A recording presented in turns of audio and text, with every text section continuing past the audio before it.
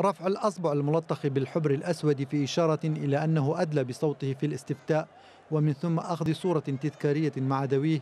كانت السمة البارزة في عملية الاستفتاء التي انطلقت في مدن إقليم كردستان العراق. وللإجابة على سؤال واحد فقط بنعم أو لا؟ وهو هل تريد أن يصبح إقليم كردستان والمناطق الكردستانية خارج الإقليم دولة مستقلة؟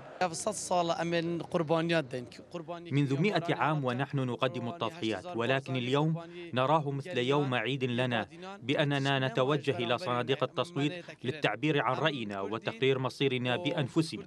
طبعا اليوم يوم تاريخي للشعب الكردي في إقليم كردستان. شوف الابتهاج والفرح للمواطنين الكردستان يجون بلهب لأداء صوتهم.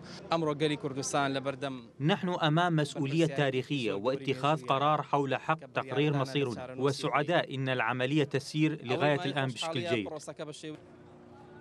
جرت العملية بمشاركة العديد من المراقبين الدوليين والمحليين رغم أن العديد من الدول أعلنت مسبقا عدم اعترافها بنتائجها.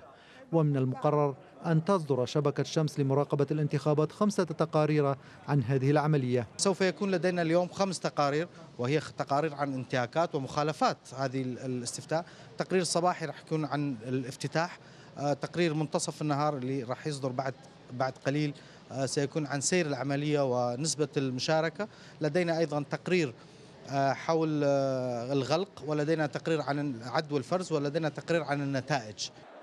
جرت هذه العملية وسط حزمة قرارات أصدرها مجلس النواب العراقي تتعلق بالعلاقة مع إقليم كردستان باتجاه تضييق الخناق عليه. ناهيك عن قرارات من دول الجوار العراقي كتركيا وإيران اللتين قررتا تقليص عمليات التبادل التجاري مع الإقليم. كردستان هي الحدود مع مع أوروبا مع تركيا وكردستان بوابة.